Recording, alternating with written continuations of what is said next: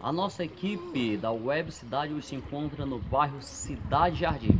Para é, os moradores chamaram nossa equipe para mostrar hoje como está, se encontra a Rua Refúgio. Ela está dessa forma, é, sem ter acesso dos moradores, sem ter acesso de uma SAMU, de um carro da polícia. Olha a forma que ela se encontra.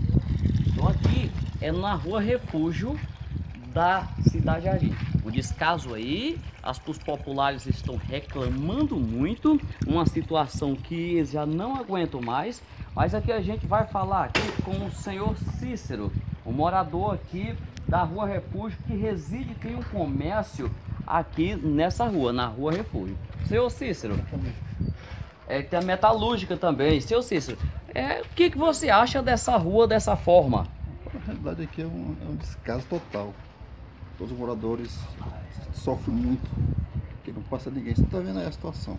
Na realidade, aqui tá, tá bom, teve muito pior, não passava ninguém. A gente começou a limpar um pouquinho para poder passar. Carro da SAMU. Não passa ninguém. Da... Não passa SAMU, não passa ninguém. Como passa aqui? Se passa, fica, né? E hoje você, e hoje você pede algum aos órgãos públicos que tomem a providência desse descaso que está acontecendo. A gente está cansado de pedir. A gente faz foto, manda, envia pra TV e tal, mas só faz, vem aqui, bate foto e volta, não faz nada. Simplesmente nada. E os moradores já estão cansados dessa Cansado, situação. A gente não acredita mais. Ninguém mais tá- não tem fé mais em ninguém no poder público. Infelizmente é a realidade. Todas Nossa. as casas aqui entra água. Aqui não tem mais nada que preste. Geladeira, guarda-roupa, tudo esculhambado.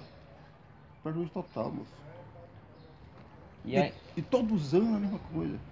Compra os móveis e quando é no inverno, esculhamba, esculhamba tudo. Prejuízo total.